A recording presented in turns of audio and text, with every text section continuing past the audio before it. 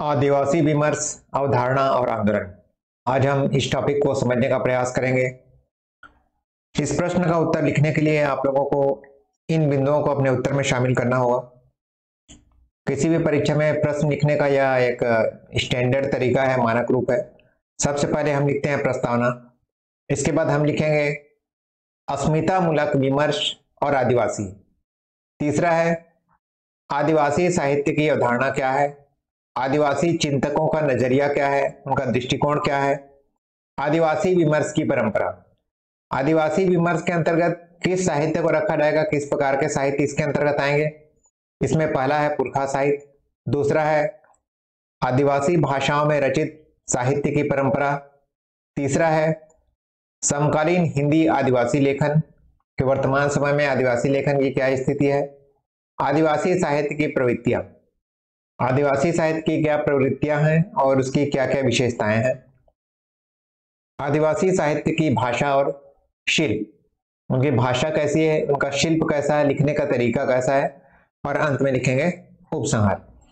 नमस्कार, मैं भूपेंद्र पांडे हिंदी चैनल में आप सबका हार्दिक स्वागत करता हूँ। और अगर अभी तक आपने मेरे चैनल को सब्सक्राइब नहीं किया तो मेरे चैनल को सब्सक्राइब करें। साथ ही बेल आइकन को दबाना ना भूलें ताकि मेरे प्रत्येक वीडियो के अपडेट्स आपको मिलते रहे। यह एक ऐसा टॉपिक है जिस पर बहुत ही अच्छा कंटेंट कहीं पर मिलता नहीं है, अच्छी सामग्री, इसलिए आप शुरू से अंत तक इसे ज़रूर देखें और समझने का प्रयास करें।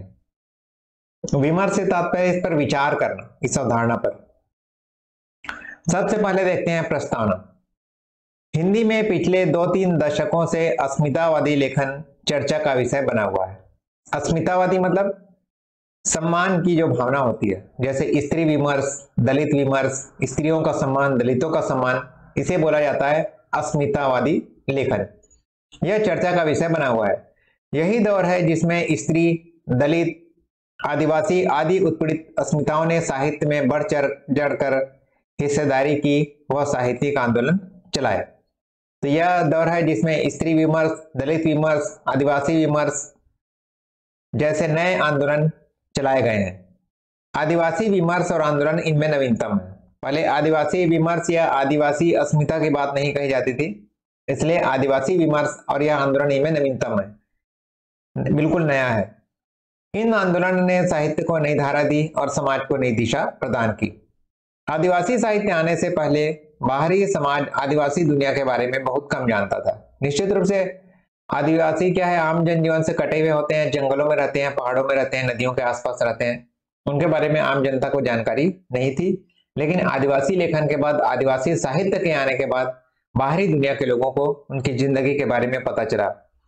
आदिवासी लेखन ने साहित्य जगत को एक नई विश्व दृष्टि दी, नए आयाम दिए। अब हम आदिवासी विमर्श की अवधारणा और आंदोलन को समझने का प्रयास करेंगे।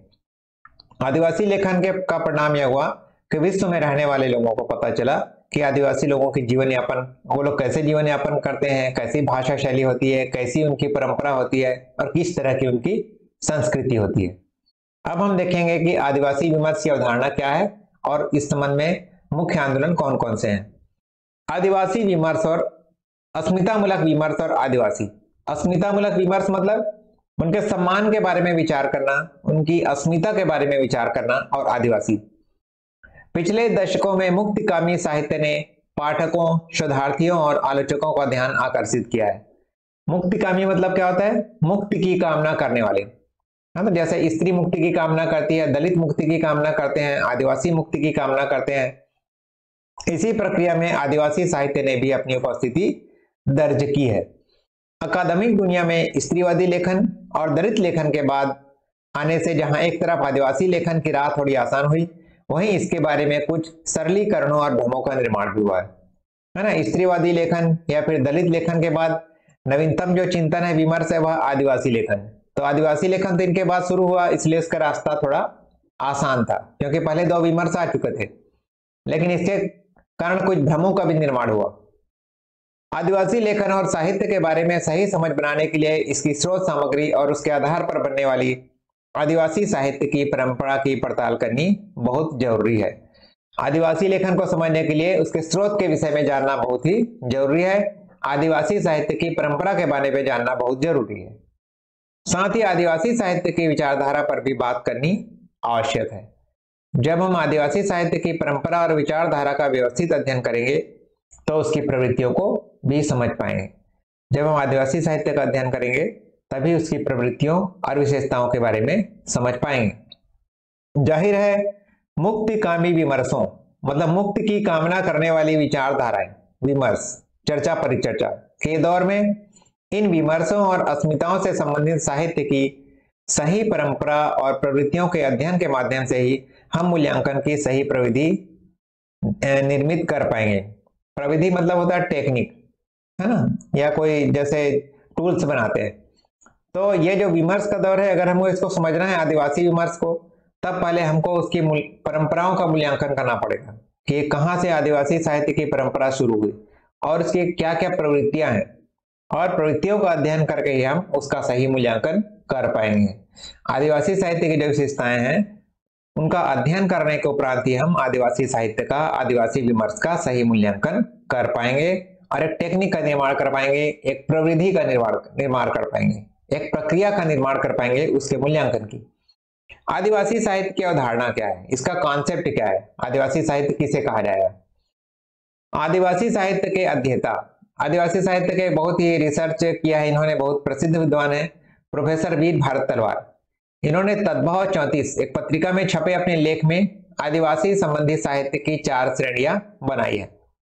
प्रोफेसर वीर भारत तलवार ने आदिवासी साहित्य को चार भागों में विभाजित किया है, चार प्रकारों में विभाजित किया है। पहला, कुछ ऐसे लेखक हैं जो आदिवासी समाज के बारे में बहुत कम और सतही जानकारी रखते हैं और साथ ही अपने सवर्ण हिंदू संस्कारों से ग्रस्त हैं, अपने सामाजिक, सांस्कृतिक पूर्वाग्रहों से ग्रस्त हैं और उसी दृष्टि से आदिवासी समाज को चित्रित करते हैं। तो कुछ ऐसे लेखक हैं जिनके आदिवासियों के बारे में जानकारी बहुत कम है है ना? और अपने सामाजिक, सांस्कृतिक पूर्वाग्रह है प्रिजुडिसिस है। पूर्व की मान्यताएँ। मतलब जैसा उनको समझ में आता है, वैसा ही अपने विचारधारा के आधार पर उनके बारे में लिखते हैं, जबकि उनको उनका जरा भी ज्ञान नहीं। है दूसरा क्या है?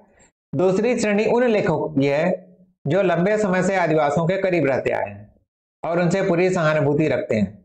उनके समाज से थोड़ा बहुत वाकिफ भी हैं। इनकी मुख्य प्रवृत्ति प्रवृत्ति आदिवासियों के दमन शोषण और उत्पीड़न को चित्रित करने और उनकी आर्थिक राजनीतिक समस्याओं को उठाने की। है कुछ ऐसे लेखक भी हैं जो आदिवासी समाज के करीब रहते आए हैं। उनकी उनको थोड़ा बहुत जानकारी भी है। उनके समाज उनकी परंपराओं उनके संस्कृति के बारे में भी जानकारी है। लेकिन इनका मुख्य उद्देश्य क्या है? आदिवासियों का जो शोषण हो रहा है जो उत्पीड़न हो रहा है जो दमन हो रहा है उनकी सामाजिक आर्थिक राज, राजनीतिक समस्याओं को उठाना इनका मुख्य उद्देश्य है। तो दूसरा प्रकार है। तीसरा प्रकार उन लेखकों का साहित्य, जो आदिवासियों के बीच लंबे समय तक रहे हैं, जिन्होंने उनका अच्छा और बुरा देखा है और उनकी प्रवृत्तियों को समझने का प्रयास किया। ये जो तीसरे प्रकार के जो साहित्यकार हैं, वे बहुत लंबे समय तक आदिवासियों के साथ रहे हैं। उन्होंने उनकी अच्छाई और बुराई को बहुत ही करीब से देखा है और उनकी जो प्रवृत्तियाँ हैं, जो सोच है, जो विचारधारा है, उसको समझने का प्रयास किया है। चौथी श्रेणी खुद आदिवासियों द्वारा लिखे साहित्य की है। या उन्होंने अपनी मूल भाषाओं में लिखा, या उन्होंने अपनी मूल भाषाओं में लिखा हो, या हिंदी, बांग्ला या अन्य प्रादेशिक भाषाओं में इससे फ़र्क नहीं पड़ता। चौथा, स्वयं आदिवासी जो लेखक हैं, जो स्वयं आदिवासी है, जिन्होंने उस यथार्थ को भोगा है, जो समाज के हिस्से हैं, उस परंपरा और संस्कृति के हिस्से हैं, उन्होंने इसे अपनी मूल भाषाओं में लिखा है, या फिर हिंदी, बांग्ला या अन्य प्रादेशिक भाषाओं में लिखा है। तो चौथा कैटेगरी इनका है। तो लेखक क्या बोलते हैं? इन चार श्रेणियों में से वीर भारत तलवार चौथी श्रेणी को ही प्रामाणिक आदिवासी साहित्य मानते हैं। इनका कहना है कि जो चौथी जो श्रेणी है, जो स्वयं आदिवासी लेखकों के द्वारा लिखी गई है, यह क्या है? यही प्रामाणिक आदिवासी साहित्य है, यही स्टैंडर्ड साहित्य है। और शेष तीन श्रेणियों को क्या कहा जा सकता है? आदिवासी संबंधी साहित्य। चौथी श्रेणी यानी स्वयं आदिवासियों द्वारा लिखित साहित्य के बारे में भी लिखते हैं। इनकी गुणवत्ता बिल्कुल अलग किस्म की है। आदिवासियों के जीवन और समाज के सच्चे चित्र यही मिलते हैं। मतलब वास्तव में जो आदिवासी साहित्य है, वह कौन सा साहित्य है? जो आदिवासियों के द्वारा स्वयं लिखा गया है और यहीं से हमको आदिवासी समाज के जीवन और उनके समाज का सच्चा चित्र मिलता है। वास्तविक रूप में यह उसको परिलक्षित कर पाते हैं। अब हम कह सकते हैं कि आदिवासी साहित्य के नाम पर मुख्यतः तीन तरह का साहित्य हमारे सामने है ना? इसके आधार पर हम कह सकते हैं कि आदिवासी साहित्य के नाम पर तीन तरह का साहित्य हमारे सामने आता है। पहला क्या है? आदिवासियों के बारे में लिखे, लिखा गया साहित्य। दूसरा, आदिवासियों के द्वारा लिखा गया साहित्य। और तीसरा, आदिवासी दर्शन को आधार बनाकर लिखा गया साहित्य। मतलब हम इसको मुख्य रूप से तीन कैटेगरी में विभाजित कर सकते हैं। आम जो पाठक है, जो साधारण जो विद्वान है, वो आदिवासी साहित्य को तीन प्रकार प्रकार में विभाजित करते हैं। पहला, आदिवासियों के बारे में लिखा गया साहित्य। दूसरा, आदिवासियों के द्वारा लिखा गया साहित्य, और तीसरा है, आदिवासी दर्शन। उनकी फिलासफी क्या है? उनका दर्शन क्या है? उनका विचारधारा क्या है? उनका दृष्टिकोण क्या है? इसको आधार बनाकर लिखा गया साहित्य। आदिवासियों के बारे में लिखे गए साहित्य का आदिवासी साहित्य के रूप में दावा करना सहज है। इसीलिए शोधार्थी अक्सर रेणु के मेला अंचल के संथाल प्रसंग या योगेंद्रनाथ सिन्हा के वन लक्ष्मी से आदिवासी साहित्य की शुरुआत मान लेते हैं। क्योंकि आदिवासियों के बारे में लिखा गया साहित्य प्रचुर मात्रा में उपलब्ध है और इसको अन्य भाषा भाषाइयों ने भी लिखा हुआ है। इसलिए जो शोध करने वाले हैं, उनका कहना क्या होता है? महिला अंचल में जो संथाल टोला के बारे में उन्होंने उल्लेख किया है और योगेंद्र सिन्हा का वन लक्ष्मी इसे आदिवासी साहित्य की शुरुआत मानते हैं, जो रिसर्च करने वाले हैं, हिंदी के। कुछ लोग तुलसीदास के रामचरितमानस में आए वन के प्रसंगों को भी आदिवासी साहित्य में मान लेते हैं। और इसी दृष्टि से विश्लेषण करने लगते हैं। कुछ ऐसे रिसर्चर भी हैं, कुछ ऐसे शोधार्थी भी हैं, जो रामचरितमानस में जो वन के जो प्रसंग हैं, उनमें जो वनवासी हैं, उनके बारे में जो वर्णन किया गया है, उसे ही आदिवासी साहित्य मान लेते हैं और उसका विश्लेषण करने लगते हैं। परिणाम यह होता है कि जहाँ भी वन, जंगल या किसी आदिवासी समुदाय का ज़िक्र आ जाता है, उसे ही आदिवासी साहित्य मान लिया जाता है और इसे बीसवीं सदी के आखिरी दशक में प्रमुखता से उभरे आदिवासी साहित्य के आंदोलन के बारे में भ्रमों का निर्माण होता चला जाता है। आदिवासी चिंतक हिंदी साहित्य में आए वन या आदिवासी प्रसंगों को आदिवासी साहित्य मानने से इंकार करते हैं। इससे क्या एक भ्रम की स्थिति निर्मित होती है? क्योंकि बीसवीं सदी के अंत में जो उन्होंने आंदोलन उत्पन्न किया, उसको ढंग से समझ नहीं पाए लोग। कि आदिवासियों के आंदोलन करने का कारण क्या है? उनको आंदोलन करने की ज़रूरत क्या है? इसीलिए जो आदिवासी चिंतक हैं, जो आदिवासी विचारधारा से संबंध रखने वाले जो चिंतक हैं, उनका कहना यह है कि ये जो आदिवासियों के बारे में जो लिखा गया साहित्य है, वो आदिवासी साहित्य नहीं है। इस तरह आदिवासी साहित्य के बारे में दूसरा विचार सामने आता है, आदिवासियों के द्वारा लिखा गया साहित्य ही आदिवासी साहित्य है। यह विचार स्त्रीवादी साहित्य और दलित साहित्य के प्रभाव में निर्मित हुआ है। ज़ाहिर है इस तर्क की अपनी सीमाएँ अनुभूति के प्रामाणिकता किसी साहित्य का एकमात्र आधार नहीं हो सकता। जिस तरह स्त्रीवादी साहित्य में स्त्रियों के दो लेखन को ही मौलिक माना जाता है, प्रामाणिक माना जाता है, दलित साहित्य में दो दलितों के द्वारा लिखा गया साहित्य है, वैसे ही प्रामाणिक माना जाता है। उसी प्रकार आदिवासी साहित्य जो आदिवासियों के द्वारा लिखा गया है, उसे ही प्रामाणिक माना जाता है। लेकिन अनुभूति की प्रामाणिकता किसी साहित्य का एकमात्र आधार नहीं हो सकती। इसको भी ध्यान में रखना है कि जो भोगा यथार्थ है तो ठीक है, लेकिन कुछ लोग दूसरों के द्वारा भोगे गए यथार्थ को भी अपने शब्दों में बहुत ही अच्छे ढंग से लिख लेते हैं। आज जब आदिवासी समाज गहरे सांस्कृतिक हमलों से गुजर रहा है, ऐसे में आदिवासी समाज का सच लिखने के लिए केवल किसी समुदाय में पैदा हो जाना काफ़ी नहीं है।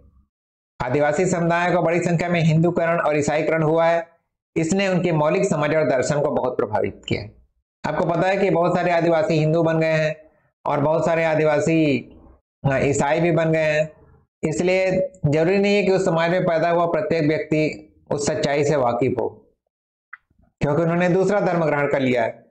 इस प्रक्रिया में आदिवासी साहित्य को अवधारणा को लेकर तीसरा विचार सामने आता है। तीसरा विचार क्या है? कि आदिवासी दर्शन को आधार बनाकर लिखा गया साहित्य ही आदिवासी साहित्य माना जाए। आदिवासियों की जो विचारधारा है, जो फिलासफी है, जो दर्शन है, उसके आधार पर जो साहित्य लिखा जाता है, उसे आदिवासी साहित्य माना जाए। ज़ाहिर है, आदिवासी दर्शन ही वह तत्व है जो आदिवासी समाज और साहित्य को शेष समाज और साहित्य से अलग करता है। आदिवासी दर्शन एक अलग ही दर्शन है, एक अलग ही फिलॉसफी है, जो आदिवासी समाज और साहित्य को सामान्य जो समाज है, जो बाहरी समाज है, उससे अलग करता है। यह आदिवासी जीवन का मूल है और जिस पर चौतरफा हमले हो रहे हैं, इसलिए जहाँ आदिवासी दर्शन, आदिवासी साहित्य की मूल शर्त है, वहीं इसे बचाना आदिवासी साहित्य आंदोलन का मुख्य ध्येय है। आदिवासी साहित्य आंदोलन का मुख्य ध्येय क्या है? आदिवासी दर्शन को बचाना, उनकी परंपरा को बचाना, उनकी संस्कृति को बचाना। और यही आदिवासी साहित्य आंदोलन है। क्योंकि उन पर चौतरफा हमले हो रहे हैं। हमले किस प्रकार हो रहे हैं? उन्हें हिंदू बनाया जा रहा है, उन्हें ईसाई बनाया जा रहा है, कुछ लालच दिया जा रहा है, उनका धर्मांतरण किया जा रहा है। इसलिए इन सबसे आदिवासियों को बचाना, उनकी परंपराओं की रक्षा करना ही आदिवासी साहित्य आंदोलन का मुख्य उद्देश्य है। अब हम निष्कर्ष के रूप में लिख सकते हैं आदिवासी साहित्य, आदिवासी दर्शन पर आधारित साहित्यिक आंदोलन है।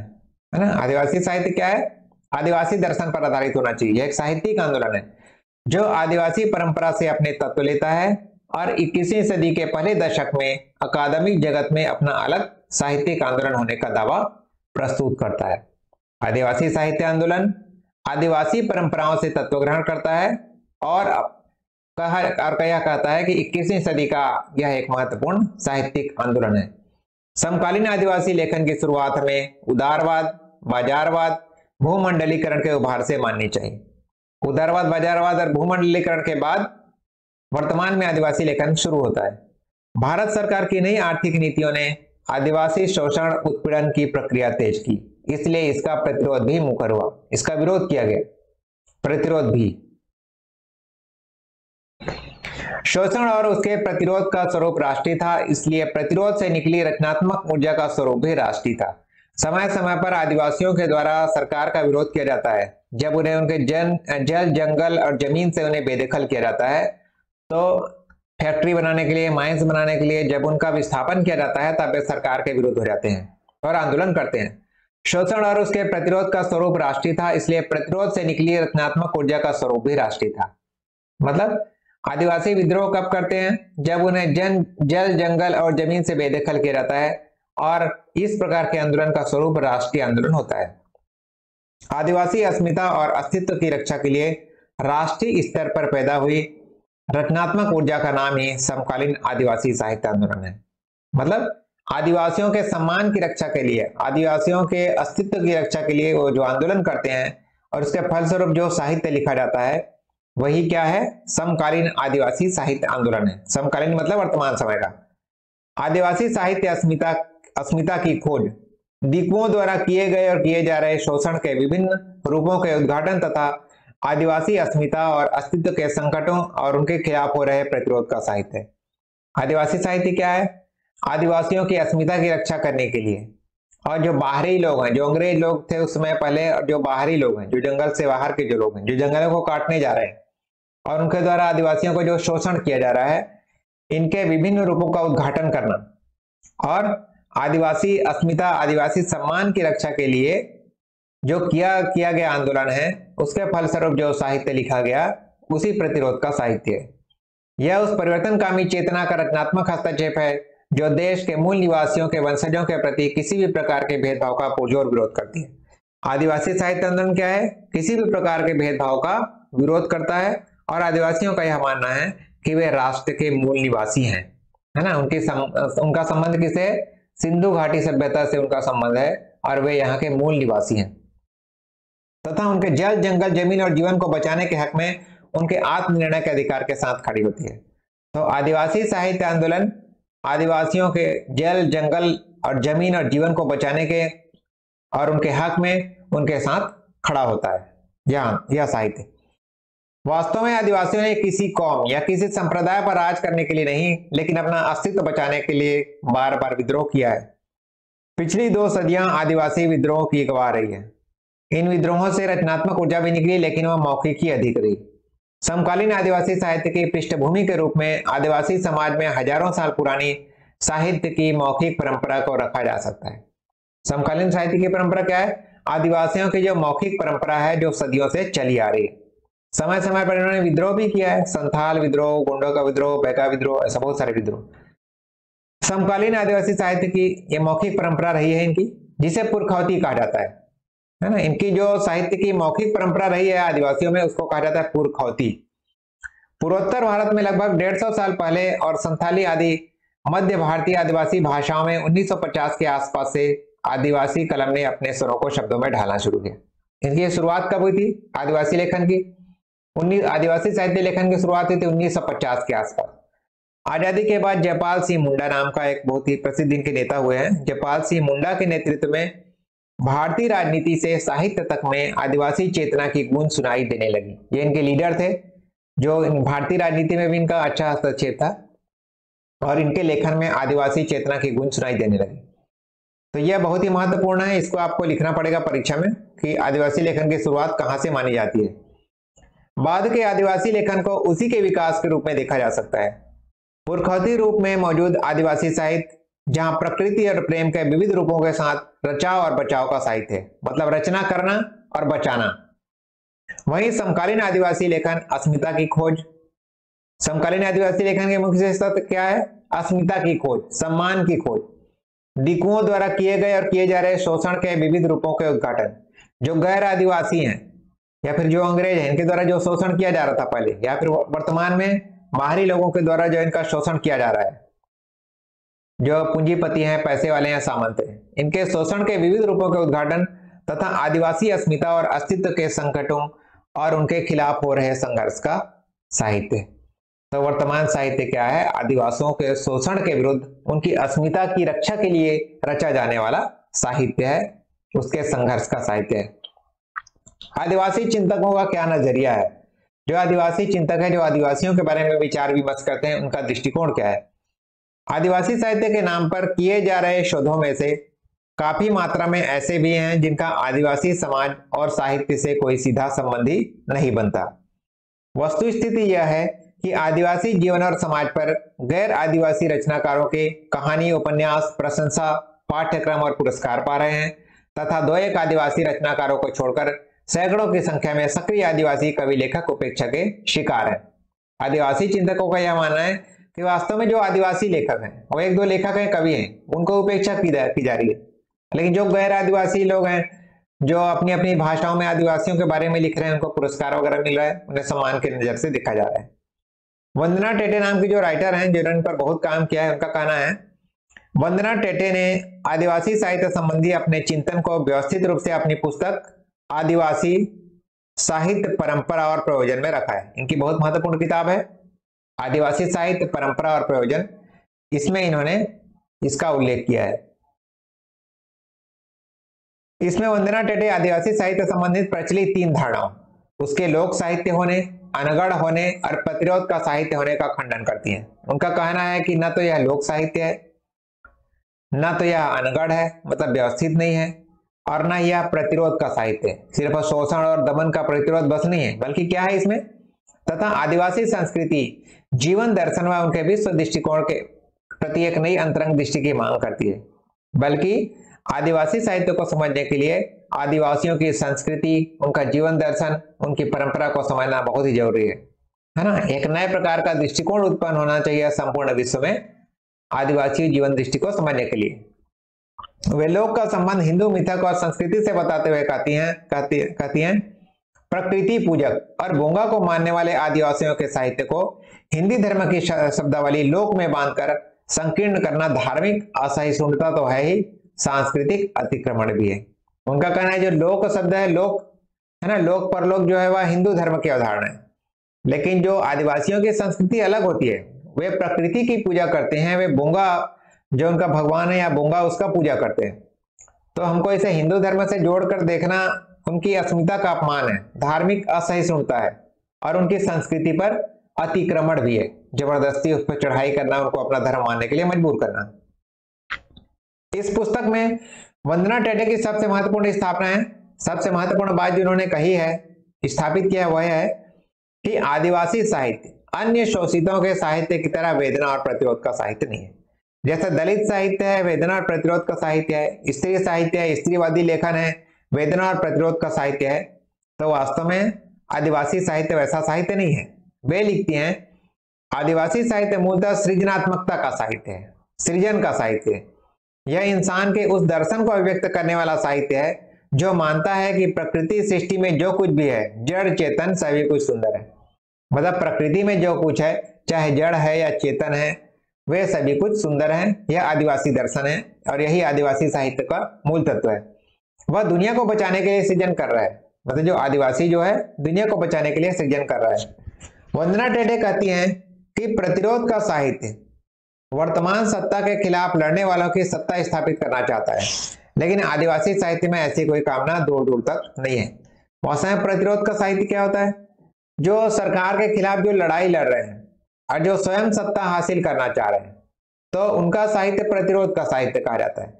लेकिन आदिवासियों का साहित्य में ऐसी कोई कामना, ऐसा कोई लक्ष्य दिखाई नहीं देता, कोई इच्छा दिखाई नहीं देती। और यही आदिवासी साहित्य का मूलाधार है, मूल तत्व है। इसलिए आदिवासी साहित्य का इतिहास लिखते वक्त, उसकी प्रवृत्तियों को बताते वक्त हमें संताली, मुंडारी, खड़िया कुडुक को आदि भाषाओं की साहित्य परंपरा को सामने रखना होगा। इसलिए हमको यदि आदिवासी साहित्य का इतिहास लिखना है, आदिवासी साहित्य को समझना है तो वास्तव में हमें आदिवासियों की जो मूल भाषा है, संताली या संथाली है, मुंडारी है, खड़िया है कुडुक है, हो, इन भाषाओं की साहित्यिक परंपराओं को पढ़कर समझ कर ही हम उनके, उनका साहित्य लिख सकते हैं, उनकी परंपराओं का मूल्यांकन कर सकते हैं।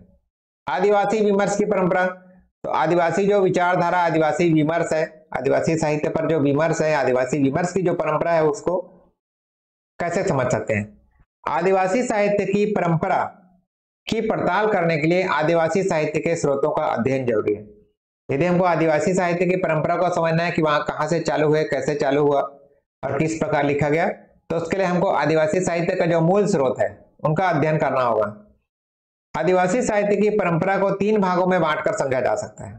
आदिवासी लेखन या आदिवासी साहित्य की जो परंपरा है, उसे तीन भागों में बांटा जा सकता है। पहला है पुरखा साहित्य। पुरखा साहित्य मतलब जो लगभग मौखिक साहित्य है, जो उनके पुरखों के द्वारा लिखा गया है एंसेस्टर्स के द्वारा, पूर्वजों के द्वारा। दूसरा, आदिवासी भाषाओं में लिखित साहित्य की परंपरा। जो उनकी मौलिक भाषाओं में जो लिखी गई, संथाली में कुडुक में, हो में, है ना, इन इन भाषाओं में जो लिखी गई साहित्य की परंपरा है। और तीसरा, समकालीन हिंदी आदिवासी लेखन है। तीसरा है, वर्तमान समय में जो हिंदी में आदिवासियों के विषय में लिखा जा रहा है, या फिर अन्य भाषाओं में लिखा जा रहा है। तो यहाँ पर हम समकालीन हिंदी आदिवासी लेखन कह रहे हैं। पुरखा साहित्य क्या है? यह हम देखते हैं। आदिवासी दर्शन व साहित्य का मूलाधार पुरखा साहित्य है। उनके पूर्वजों पूर्वजों का जो साहित्य है, जिसे पुरखा साहित्य कहा जाता है। तो आदिवासी दर्शन का यह मूल आधार है, जो उन्हें अपने पुरखों से, पूर्वजों से विरासत में मिला है। पुरखा आदि, साहित्य आदिवासी समाज में हज़ारों वर्षों से जारी मौखिक साहित्य की परंपरा है। पुरखों को क्या है पहले लिखने पढ़ने का ज्ञान नहीं था? तो मौखिक रूप से वो याद रखते थे। तो यह हज़ारों वर्षों से चली आ रही परंपरा है और इसे कहा जाता है पुरखा साहित्य। यह हज़ारों वर्षों से जारी मौखिक साहित्य की परंपरा है। बीसवीं सदी में इसके संकलन, संपादन और प्रकाशन के कार्य भी हुए हैं। बाद में इनका संकलन भी किया, संपादन किया, इन्हें प्रकाशित भी किया गया बीसवीं शताब्दी में। आदिवासी चिंतन इस मौखिक परंपरा को मौखिक साहित्य या लोक साहित्य कहने के बजाय पुरखा साहित्य कहते हैं। तो जो आदिवासी चिंतक है, जो आदिवासियों के बारे में चिंतन करते हैं, उनका कहना क्या है? इस मौखिक परंपरा को मौखिक साहित्य या लोक साहित्य नहीं कहते, बल्कि इसे कहते हैं पुरखा साहित्य। इन्होंने इसे नाम दिया है पुरखा साहित्य। इसके पीछे पुरखा साहित्य कहने के पीछे महत्वपूर्ण क्या है? क्यों कहा जा रहा है? इसके पीछे महत्वपूर्ण तर्क है। पहली बात तो यह है कि मौखिक साहित्य कहने से कुछ पता नहीं चलता कि किसका मौखिक साहित्य, कैसा मौखिक साहित्य। यदि हम इसे मौखिक साहित्य कहते तो पता नहीं चलता। कि ये किस प्रकार का मौखिक साहित्य और किसने लिखा है? दुनिया के तमाम समाजों में लिखित से पहले मौखिक साहित्य की परंपरा रही है। उससे अलगाने के लिए आदिवासी चिंतक आदिवासी मौखिक परंपरा को पुरखा साहित्य कहते हैं।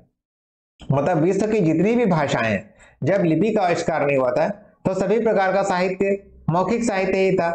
तो उस मौखिक साहित्य से आदिवासी लोग अपने साहित्य को अलग करने के लिए क्या कहते हैं? पुरखा साहित्य कहते हैं।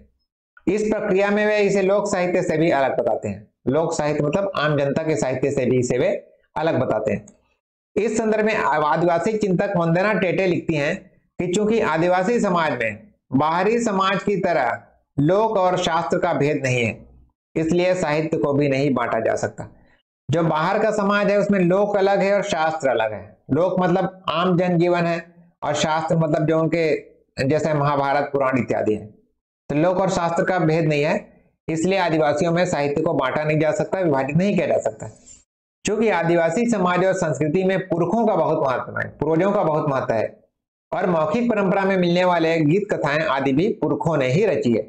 इसलिए इस मौखिक परंपरा को सम्मिलित रूप से पुरखा साहित्य कहा जाना चाहिए। है ना? आदिवासियों में जो उनकी परंपराएँ हैं, या उनके पूर्वज हैं उनका बहुत ज़्यादा महत्व है, और उन्हें ये सारी कथाएँ किससे मिली है? अपने पूर्वजों से मिली है। यह साहित्य उन्हें अपने पूर्वजों से मिली है, इसलिए इसे पुरखा साहित्य कहना अधिक उचित है। तमाम आदिवासी भाषाओं में पुरखा साहित्य की समृद्ध परंपरा मौजूद है।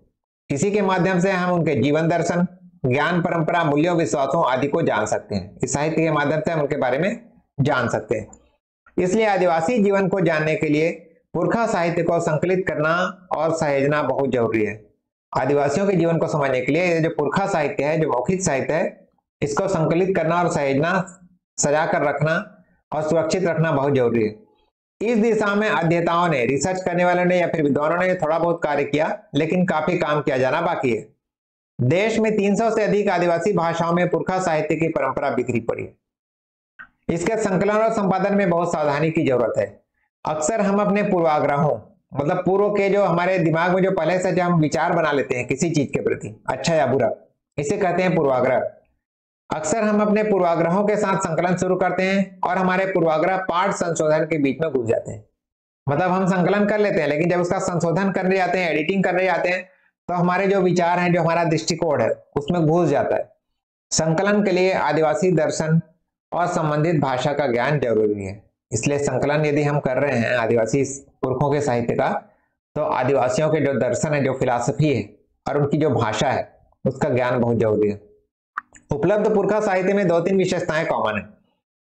पुरखों के प्रति कृतज्ञता का भाव, है ना? रेडी होने का भाव, कृतज्ञता का भाव, धन्यवाद का भाव, प्रकृति और प्रेम के प्रति गहरी संवेदनशीलता, बाहरी समाज के हमलों के प्रति सजगता, अपनी परंपरा और संस्कृति को बचाने का भाव। यह पुरखा साहित्य की मूल विशेषताएँ हैं। आदिवासियों पर बाहरी समाजों के हमलों का इतिहास काफ़ी पुराना है और उतनी ही पुरानी है उसके प्रति आदिवासी पुरखों की सजगता। तो पहले से उन पर हमले होते रहे हैं, लेकिन जो उनके पुरखे हैं, जो पूर्वज हैं, इस दिशा में सजग रहे हैं। अब दूसरा जो परंपरा है, वह है आदिवासी भाषाओं में रचित साहित्य की परंपरा। आदिवासी भाषाओं में लिपियाँ विकसित होने की शुरुआत अब से लगभग डेढ़ सौ साल पहले हो गई। अब तक एक दर्जन से अधिक आदिवासी भाषाओं की लिपियाँ तैयार हो चुकी हैं। कई आदिवासी भाषाओं ने पड़ोस की किसी बड़ी भाषा की लिपि को स्वीकार कर लिया है। कुछ तो उनकी मौलिक लिपि होती है आदिवासियों की, और कुछ ने अपने आसपास की जो बड़ी भाषा है, कोई प्रचलित भाषा है बड़ी भाषा है, उसकी लिपि को स्वीकार कर लिया है। निष्कर्ष इससे क्या निष्कर्ष निकलता है? आदिवासी भाषाओं में लेखन और मुद्रण की परंपरा भी सौ साल से अधिक पुरानी है। लेखन और मुद्रण मतलब छापने की जो परंपरा है, सौ साल से अधिक पुरानी। इस परंपरा की और पड़ताल किए जाने की ज़रूरत है। मौजूदा स्रोत सामग्री के अनुसार मेन्नस ओडे ये नाम के राइटर हुए हैं, का मतुराय कहनी। नामक मुंडारी उपन्यास पहला आदिवासी उपन्यास है। यह बहुत ही महत्वपूर्ण है, इसको आपको परीक्षा में लिखना पड़ेगा। मौजूदा स्रोत सामग्री के अनुसार मेन्नस ओडे का मतुरा कहनी नामक मुंडारी उपन्यास पहला आदिवासी उपन्यास है। यह बीसवीं सदी के दूसरे दशक में लिखा गया है। इसके एक भाग का अनुवाद हिंदी में चलो चाय बागान किया गया है। इसका अनुवाद हिंदी अनुवाद किस नाम से किया गया है? चलो चाय बागान।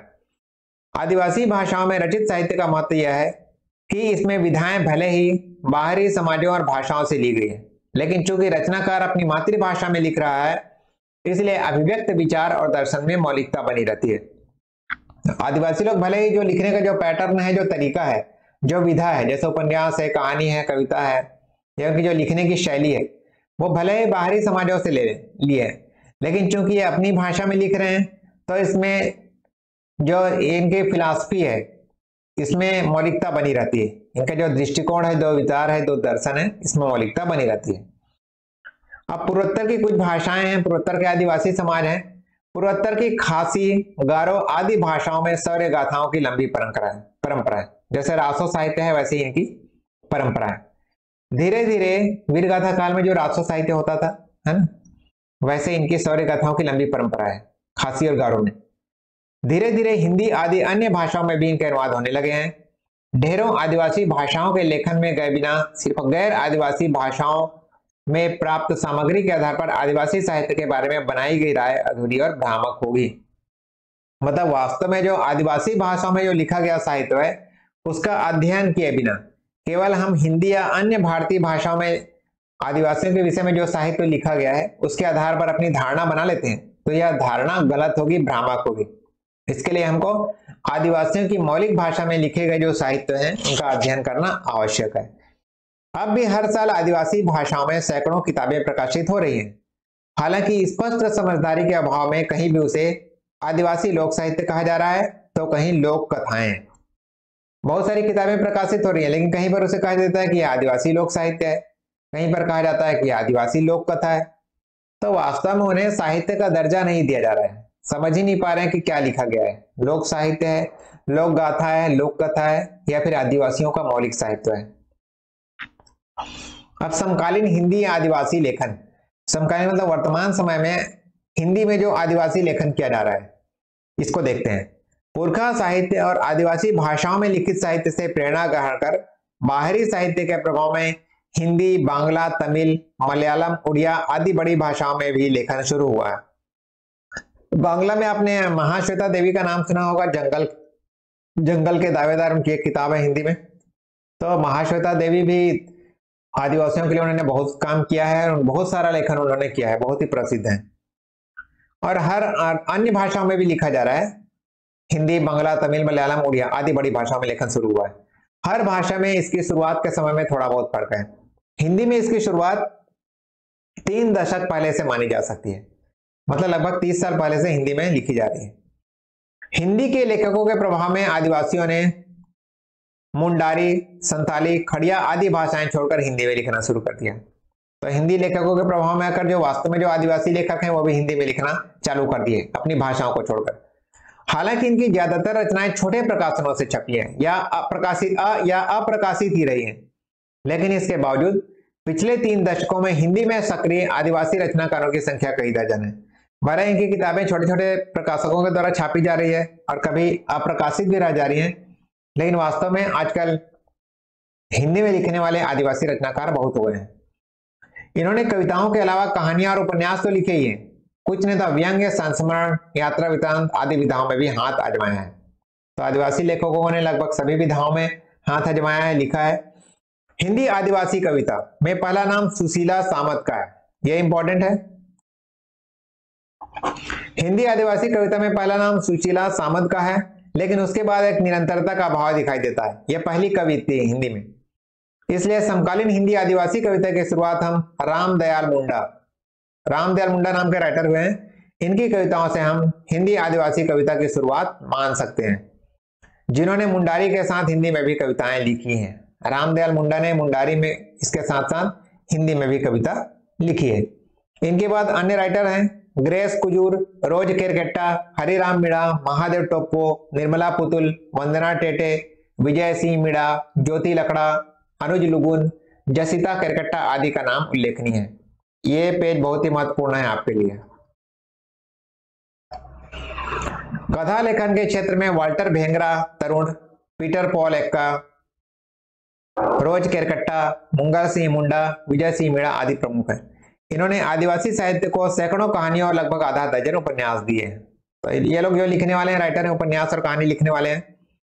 शंकर मीणा, व्यंग्य और कहानी दोनों क्षेत्रों में सक्रिय हैं, समकालीन हिंदी के लेखक हैं।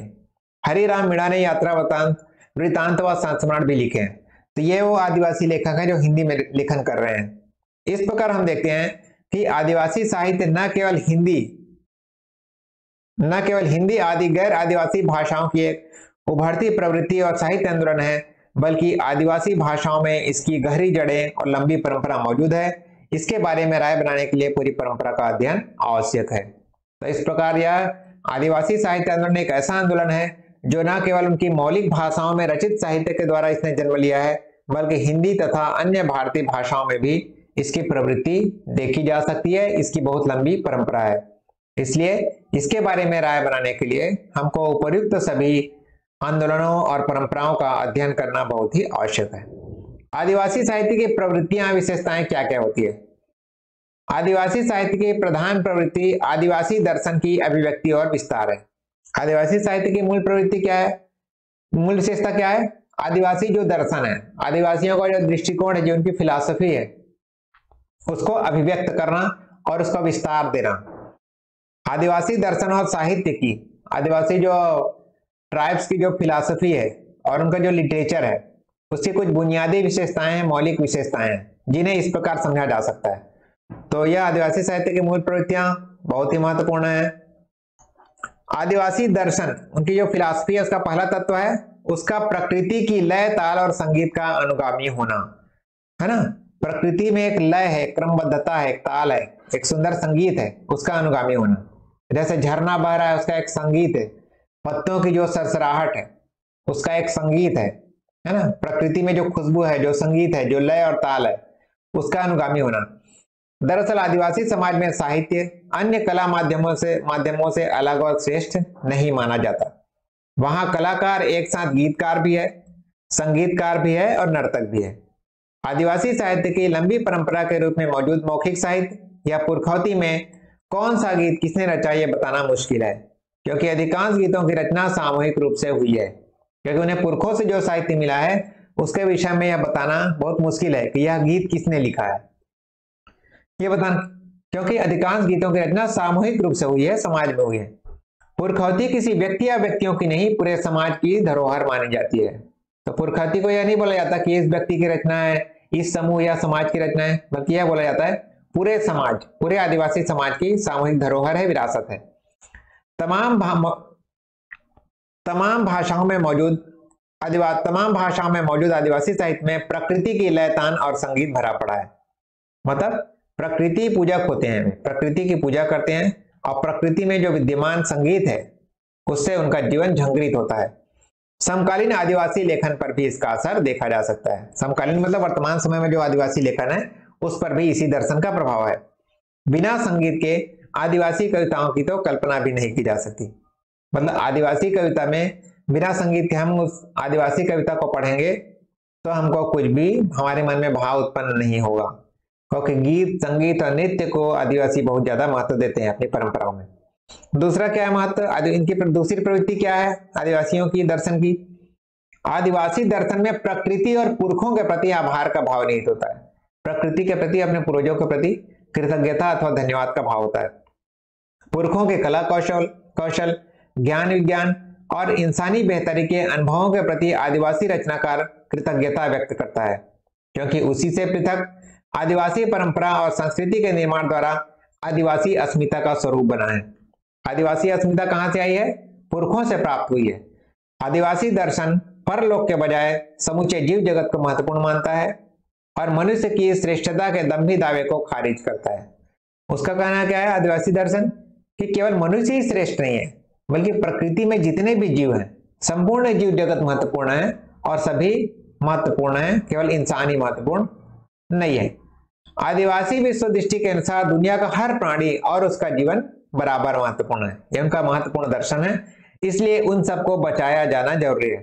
साथ ही नदी, नाले, पहाड़, जंगल आदि को भी बचाना ज़रूरी है, यह उनका दर्शन है। तीसरा है, आदिवासी दर्शन पूरी दुनिया में फैल रही बाजारवादी लालसा मतलब बाज़ार में जाके कुछ खरीदने की लालसा, और उससे उपजी धन लोलुपता, और खरीदारी करने के लिए धन, ज़्यादा से ज़्यादा धन में कैसे कमाऊं? इसका लालच और हिंसा का नकार करता है। बाहरी समाज ने हमेशा आदिवासी इलाकों को प्राकृतिक प्राकृतिक संसाधन के दोहन का केंद्र माना है। संसाधनों, प्राकृतिक संसाधनों के दोहन का केंद्र माना है। मतलब बाहरी लोगों को क्या समझते हैं? कि ये हमारे प्राकृतिक संसाधनों का दोहन करते हैं। इसको दिकू बोलते हैं। आदिवासी जिस प्रकृति को माँ मानते आए हैं, उसे बाहरी लोगों ने मुनाफे का साधन मात्र माना है। फ़ायदा उठाना चाहते हैं बाहर के लोग। जबकि प्रकृति को माँ मानते हैं। जैसे सागौन की लकड़ी है, साजा की लकड़ी है, बीजा की लकड़ी इसको काट के लोग ले जाते हैं फर्नीचर बनाने के लिए, दरवाज़ा बनाने के लिए। लेकिन आदिवासी लोग इसको काटना पसंद नहीं करते, वो बोलते हैं, प्रकृति हमारी माँ है।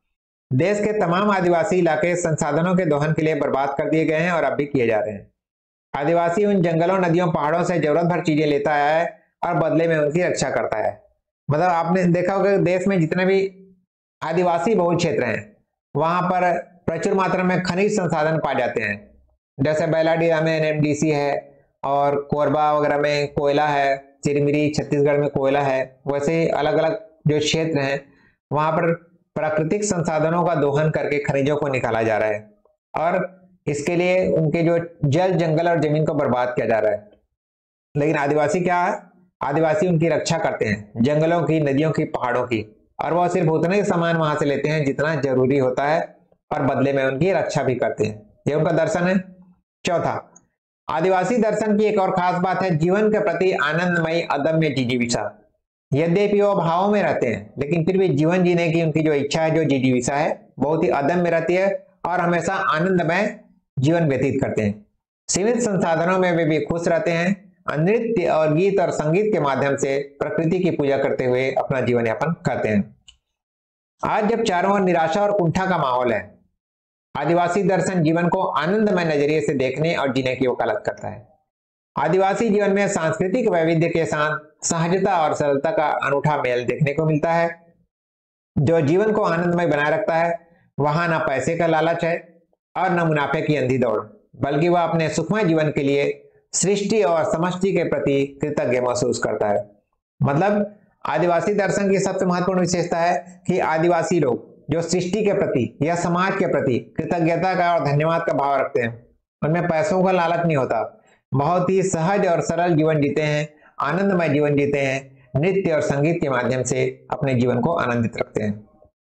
और उनमें सांस्कृतिक विविधता भी देखी जाती है।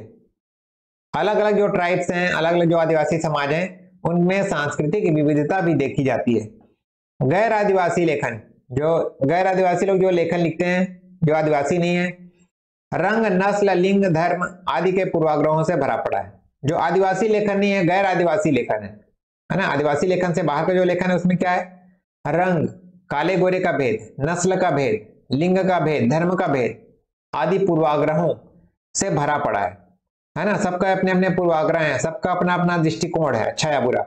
जबकि आदिवासी साहित्य और दर्शन में इनके प्रति कोई आग्रह नहीं है, कोई पूर्वाग्रह नहीं है। आदिवासी दर्शन में सब लोग समान है।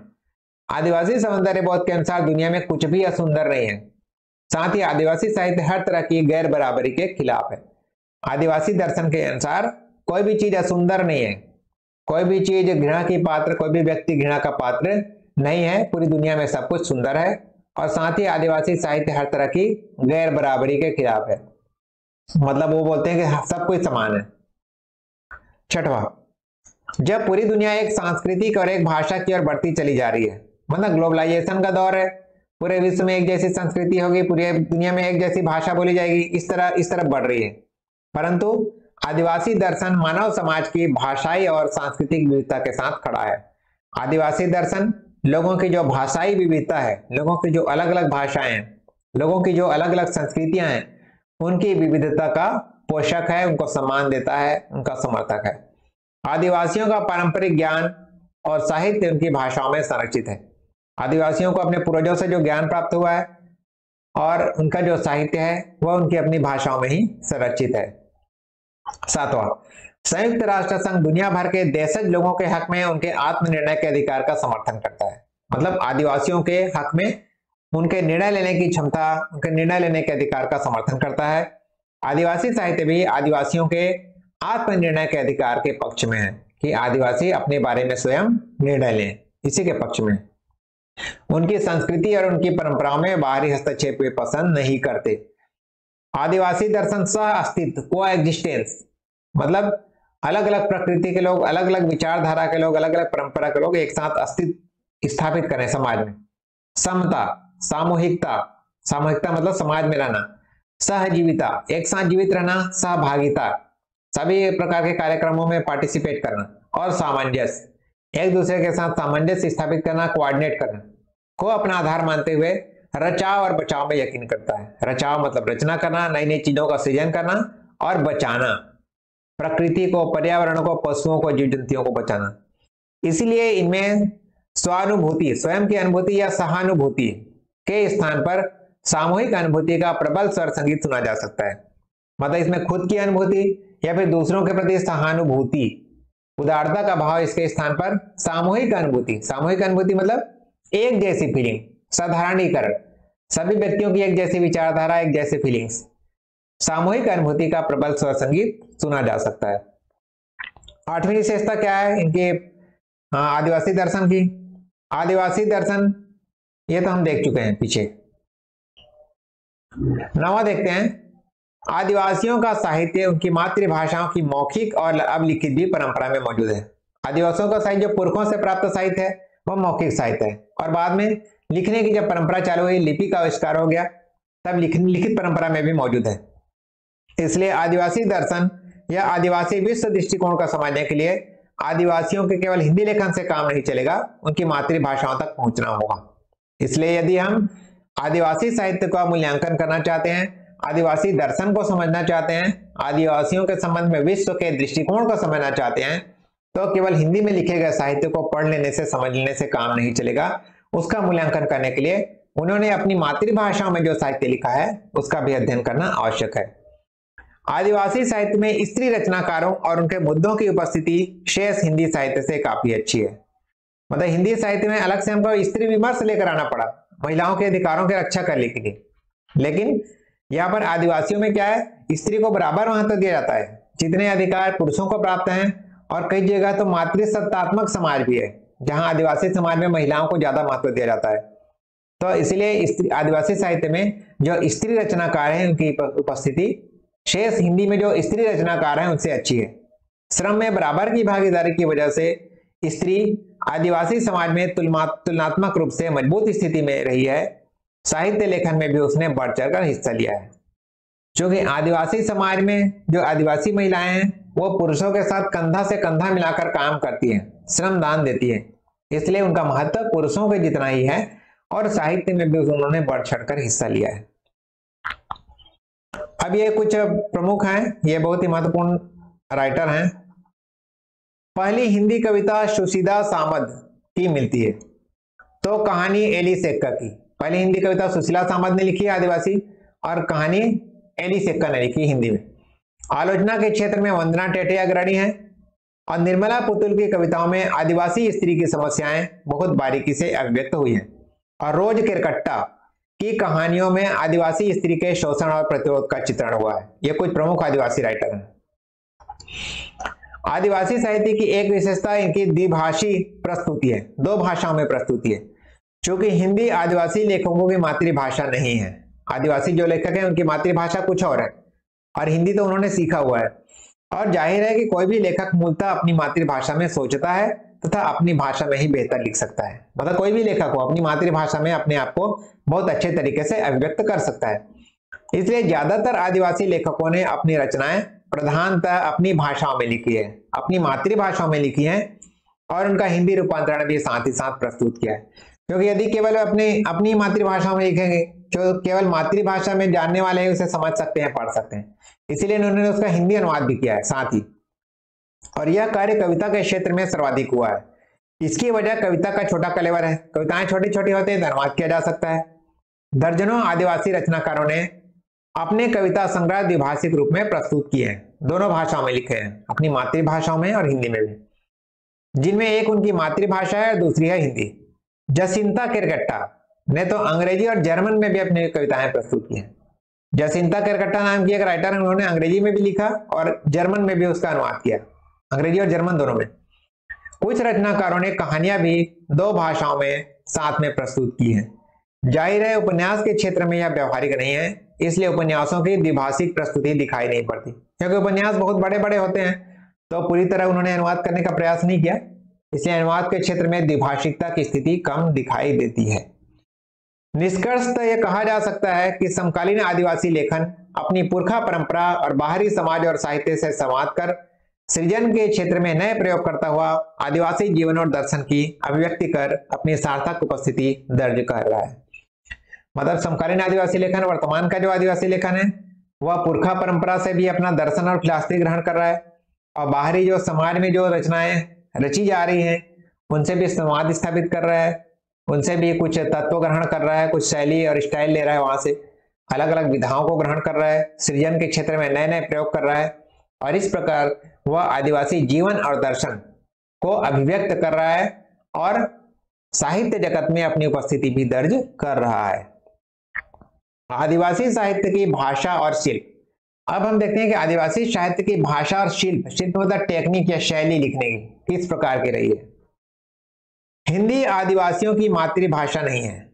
वह आदिवासियों के लिए वैसी ही पराई भाषा है, जैसे तमाम भारतीयों के लिए अंग्रेज़ी। मतलब जैसे हमारे लिए अंग्रेज़ी है हिंदी भाषियों के लिए, वैसे हिंदी उनके लिए भी पराई भाषा है। हमारे लिए अंग्रेज़ी पराई भाषा है, वैसे आदिवासियों के लिए हिंदी पराई भाषा है। आदिवासी ने हिंदी सायास सीखी है, अपने स्वयं के प्रयास से सीखी है, जैसे कि हम अंग्रेज़ी सीखते हैं। इसलिए आदिवासी लेखन में भाषा का वैसा छद्म नहीं है, जैसा कि अक्सर हिंदी लेखन में देखने को मिलता है। हिंदी लेखन में क्या होता है? बना बना के नई नई चीज़ें लाई जाती हैं और अलग प्रकार से लिखा जाता है। अतिशक्ति कहीं कहीं दिखाई पड़ता है। लेकिन इनके लेखन में क्या है? भोलापन है, क्योंकि इन्होंने इसको सीखा हुआ है। आदिवासी लेखन में दलित साहित्य जैसा आक्रोश भी नहीं है। दलित साहित्य में आक्रोश या क्रोध दिखाई देता है और न ही इसमें किसी प्रकार का कोई गाली गलौच है। इसके बावजूद विशिष्ट है आदिवासी लेखन की भाषा। इन सब के बावजूद भी आदिवासी लेखन की जो भाषा है, वह विशिष्ट है, खास है। आदिवासी साहित्य की भाषा को हम निम्न बिंदुओं के माध्यम से समझ सकते हैं। इनकी भाषा की क्या विशेषता है? आप इन सब बिंदुओं को लिखेंगे अपने परीक्षा में, तभी आपको अच्छे अंक मिलेंगे। चाहे तो आप इस नोट्स को छोटा कर सकते हैं। इस नोट्स का पीडीएफ मैं आपको उपलब्ध करा दूँगा नीचे डिस्क्रिप्शन में। टेलीग्राम चैनल का भी लिंक मैं आपको दे दूँगा। साथ ही मेरी गुजारिश है कि यदि अभी तक आपने मेरे चैनल को सब्सक्राइब नहीं किया है तो मेरे चैनल को सब्सक्राइब ज़रूर कर ले। साथ ही बेल आइकन को दबाना ना भूले, ताकि मेरे प्रत्येक वीडियो का अपडेट्स आपको मिलते रहे। यहाँ तक आप देखते आए मतलब आपको मेरा यह वीडियो ज़रूर अच्छा लग रहा होगा। तो मुझे आशा है कि आप नीचे कमेंट बॉक्स में कमेंट लिखकर भी बताएँगे कि मेरा यह आज का एपिसोड आपको कैसा लगा। अब आदिवासी साहित्य की भाषा को हम इन बिंदुओं के माध्यम से समझ सकते हैं। पहला भाषा की विशेषता, भाषा और शैली की। आदिवासी लेखन की भाषा सहज है, सरल है। इससे जहाँ वह एक तरफ़ आदिवासी दर्शन के अनुकूल बन पड़ी है, वहीं दूसरी तरफ़ पाठक के लिए भी आसान है। यह आदिवासी लोगों का जीवन दर्शन जो बहुत ही सरल और सहज है। वैसे उनकी भाषा भी सरल और सहज है, इसीलिए पाठक को भी बहुत आसान लगती है। हालाँकि हिंदी साहित्य की नकल करते हुए लिखने वाले आदिवासी साहित्यकारों की भाषा में तत्सम प्रधानता और एक तरह की कृत्रिमता है। कुछ लेखक हिंदी साहित्य की नकल करते हुए कठिन तत्सम शब्दवाली का प्रयोग कर रहे हैं, संस्कृत निष्ठ खड़ी बोली का प्रयोग कर रहे हैं, इसलिए उनकी भाषा में कृत्रिमता है। मंगल सिंह मुंडा का उपन्यास छैला संधु इस संदर्भ में देखा जा सकता है। मंगल सिंह मुंडा नाम के जो राइटर हुए हैं, उनका जो उपन्यास है, छैला संधु, इसका उदाहरण यहाँ पर दिया है, कृत्रिम भाषा के रूप में। दूसरा, चूँकि हिंदी आदिवासियों की मातृभाषा नहीं है, इसलिए उनकी हिंदी में स्थानीय प्रभाव खूब देखने को मिलते हैं। जैसे झारखंड के साहित्यकार अपने गद्य और पद्य में लिंग संबंधी गलतियाँ करते हैं, इसी तरह स्थानीयता के प्रभाव में वे क्रिया का स्थानीय बोलचाल वाला रूप प्रयोग करते हैं। क्योंकि हिंदी उनकी मूल भाषा नहीं है, इसलिए उनके लेखन में स्थानीय भाषाओं का भी प्रभाव है, स्थानीय बोलियों का भी प्रभाव हिंदी में दिखाई देता है। और कुछ त्रुटियाँ भी कर देते हैं वो, लिंग संबंधी या क्रिया संबंधी। आदिवासी साहित्य की भाषा का वैशिष्ट, उसमें आई आदिवासी जीवन संबंधी शब्दावली है। मतलब आदिवासी जीवन में जो शब्दावली प्रचलित है आदिवासियों के समाज में तो वह शब्दावली यहाँ ले ली गई है। ज़ाहिर है वे आदिवासी भाषा संस्कृति से आई है इसलिए उसका हिंदी में अनुवाद प्रस्तुत करना या समानांतर शब्द खोजना लगभग असंभव है, क्योंकि वह परंपराओं से प्राप्त है। उदाहरण के लिए अखड़ा को लीजिए अखड़ा एक शब्द है। हिंदी का पाठक जब कहीं अखड़ा लिखा पड़ता है तो वह अपने सीमित ज्ञान संसार की वजह से यह समझ लेता है कि यह शब्द शायद अखाड़ा है। गलती से अखड़ा छप गया है। जबकि अखड़ा शब्द का अखाड़ा से कोई संबंध नहीं। अखड़ा आदिवासी संस्कृति का केंद्र है। वह आदिवासी गाँव की तमाम गतिविधियों का केंद्र है, लेकिन वह चौपाल नहीं है। इस तरह की शब्दावली आदिवासी कविता में भरी पड़ी है, जिसके प्रसंग आदिवासी समाज, संस्कृति, इतिहास या मूल्यों में बिखरे पड़े। आदिवासी समाज से एकदम अपरिचित व्यक्ति के लिए इन शब्दों को समझ पाना बहुत बड़ी चुनौती है। तो कुछ शब्द वहाँ से ले लिए गए हैं, पारिभाषिक शब्द हैं आदिवासी समाज के। जैसे घोटुल प्रथा होती है, घोटुल जहाँ पर युवा मिलते हैं और अपने साथी का चुनाव करते हैं, संस्कृति संस्कृति का प्रचार प्रसार करते हैं, घोटुल, वैसे ही अखड़ा है। Muria and their Ghotul, barrier LV नाम के एक राइटर हुए उनकी प्रसिद्ध रचना है मुड़िया एन देर घोटुल। समाज शास्त्र का जो अध्ययन करते होंगे, उनको पता होगा। अब रचनाओं की द्विभाषी प्रस्तुति, आदिवासी साहित्य के शिल्प की प्रमुख विशेषता है। ज़्यादातर कविता संग्रह कवियों की अपनी मातृभाषा और हिंदी में प्रस्तुत किए हैं। ऊपर हमने देखा है कि जितने भी कवि हुए हैं आदिवासी, पहले उन्होंने मातृभाषा में लिखी, फिर उसका हिंदी में अनुवाद किया। तो यह भी उनकी प्रमुख विशेषता है। अब हम देखते हैं उपसंहार। यह हमने भाषा और शैली की विशेषता हमने देखा। अब देखते हैं उपसंहार। उपसंहार भी लिखना बहुत ज़रूरी है परीक्षा में। आदिवासी साहित्य विविधताओं से भरा हुआ है। विविधताएँ मतलब विभिन्न प्रकार के आदिवासी साहित्य विभिन्न विधाएँ कहानी, उपन्यास, कविता, संस्मरण रिपोर्टाज सब है।